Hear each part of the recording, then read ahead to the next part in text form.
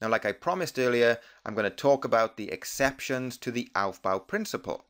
So copper and chromium are two exceptions to the Aufbau principle. Chromium has the electronic configuration 1s2, 2s2, 2p6, 3s2, 3p6, 4s1, 3d5. So chromium has a half full D sublevel. Copper has the electronic configuration 1s2, 2s2, 2p6, 3s2, 3p6, 4s1, 3d10. So copper has a full 3d sublevel. It's important that you know about these two exceptions to the Aufbau principle, but you won't have to explain why they are exceptions. Next I'll look at abbreviated electronic configurations. Abbreviated electronic configurations use square brackets and then the symbol of a noble gas.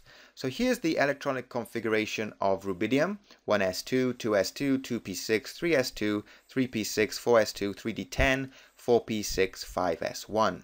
Now the abbreviated electronic configuration uses square brackets, then the symbol for argon, which is Ar, and this represents the electronic configuration of argon, and then what's left over is 5s1. So let's look at another example. Write the abbreviated electronic configuration for aluminium.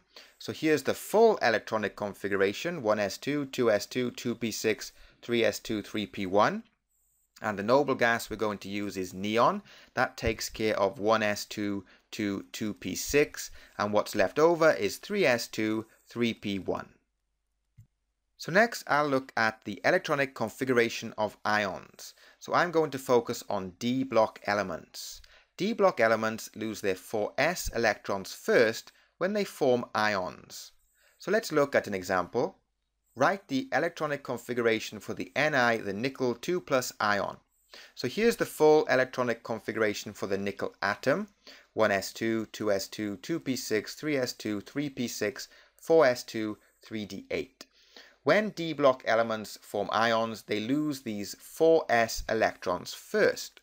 So the electronic configuration for the 2 plus ion is 1s2, 2s2, 2p6, 3s2, 3p6, 3d8. So we've lost these two 4s electrons first. And here's the abbreviated electronic configuration for the ion, square brackets AR, 3d8. So let's try one more example write the electronic configuration for the Cu2 plus ion. So here's the electronic configuration for the copper atom. And as you can see, it's an exception to the Aufbau principle. It has the full 3D sublevel. So when it forms the 2 plus ion, it's going to lose one of these 4s electrons first, and then it's going to lose a 3d electron. So the electronic configuration for the 2 plus ion is 1s2, 2s2, 2p6, 3s2, 3p6, 3d9. The abbreviated electronic configuration can be written as square brackets AR 3d9.